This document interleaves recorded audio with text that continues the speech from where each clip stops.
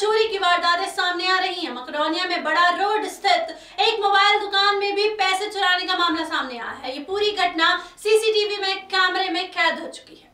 जानकारी के मुताबिक मोबाइल दुकान पर शुक्रवार की शाम एक शख्स मोबाइल खरीदने की बात कहकर आया जिसने पहले मोबाइल देखा और कुछ देर वहाँ इंतज़ार किया।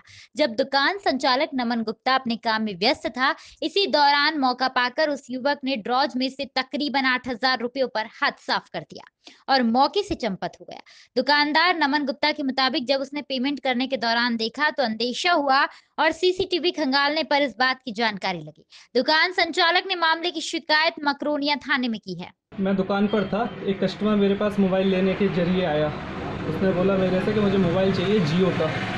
तीन हज़ार रुपये साढ़े तीन हज़ार रुपये तक की रेंज में। मैंने उसको मोबाइल दिखाया। मोबाइल उसने देख के मुझे उससे साइड में रखवाया मोबाइल बोलता है, मेरे एक लोग और आ जाए साथ में तो मैं मोबाइल ले लूँ आपसे। एक लोग और आने वाला था उसका तो उसके बाद वो साइड में खड़ा हो गया, बहुत देर तक खड़ा रहा। उसके दस पंद्रह मिनट बाद मैं बीस दस पंद्रह सेकंड के अंदर साइड हुआ तो उतनी देर में उसने ड्रॉज में से हाथ डाल के पैसे निकाल लिए ड्रॉज में से। कितने पैसे निकाले?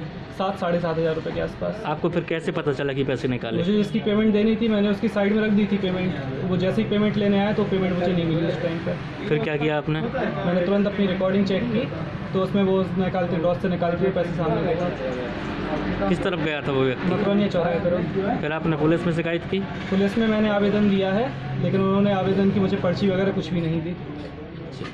अभी शिकायत की आपने? जी। कितना? साढ़े सात हज़ार थे? छः हाँ साढ़े छः सात हज़ार साढ़े सात हज़ार के आसपास थे। क्या नाम लिखते हैं आप? नमन गुप्ता। आपकी मोबाइल शॉप किस नाम से? हरिओम मोबाइल।